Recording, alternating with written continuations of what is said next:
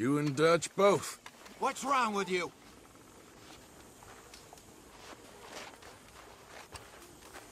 That I seen through the Perrier. You're not getting a rise out of me. Or at least you're a happy drunk.